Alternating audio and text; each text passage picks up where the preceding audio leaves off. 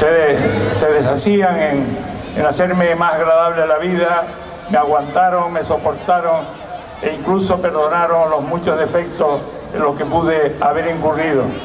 Aprovecho esta oportunidad para repetir mi agradecimiento.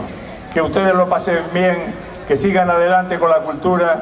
El ayuntamiento está empeñado en que eso no cese y yo me felicito por haber sembrado alguna pipita en el camino para contribuir a ello. Gracias, buenas tardes.